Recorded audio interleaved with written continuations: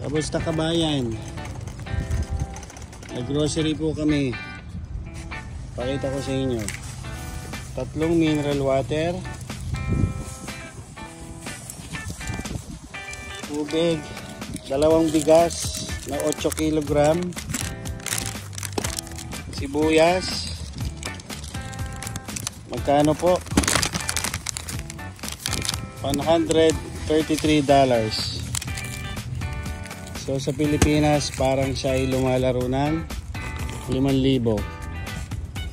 Okay.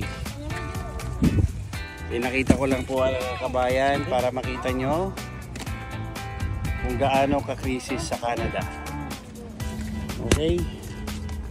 So yan, lalagay po namin sa sasakyan. So yan, $133. Right, Isko? Ano masasabi mo? Mura ba o mahal? Okay, kamusta kabayan? Mahal. Mahal daw. Ni.